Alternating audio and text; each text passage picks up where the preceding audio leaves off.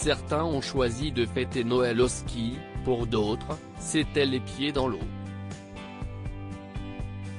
Laetitia Hallyday et Jalil Lesper étaient de cette team-là. Après avoir passé plusieurs jours sur l'île de Saint-Barthélemy, notamment pour honorer la mémoire de Johnny Hallyday lors du quatrième anniversaire de sa mort, le couple a mis le cap sur une autre île des Antilles, Saint-Martin. Siesti dans ce petit coin de paradis que les amoureux ont fêté Noël en famille. Pour preuve, les photos que Laetitia Hallyday et Jalil Lesper ont postées sur leur compte Instagram. L'acteur et réalisateur français de 45 ans a publié une image prise en mer.